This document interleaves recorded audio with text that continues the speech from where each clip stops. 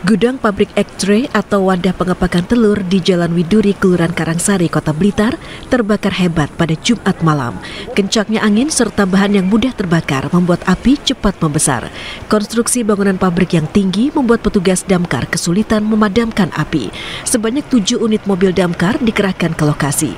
Namun api baru berhasil padam sekitar tujuh jam kemudian. Meski berada di perkampungan padat penduduk, api tak sampai merembet ke rumah warga.